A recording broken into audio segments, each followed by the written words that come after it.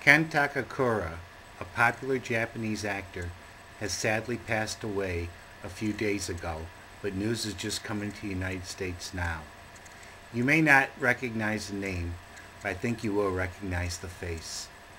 Ken Takakura, a popular Japanese actor, sadly passed away at the age of 83 from malignant lymphoma.